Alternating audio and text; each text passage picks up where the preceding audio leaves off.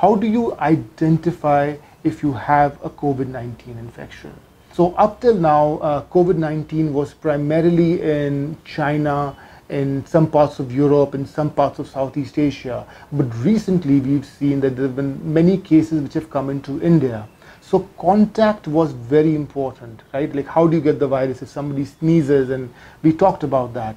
So uh, a travel history was very important, but now in India, it is also starting to spread. So you have to be, you always have to ask yourself, did, some, did I meet someone who probably had an infection or something of that sort?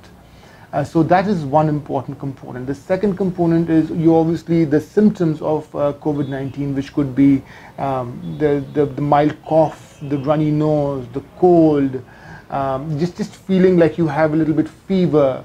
So just it's very similar to the common cold or the flu as we know it.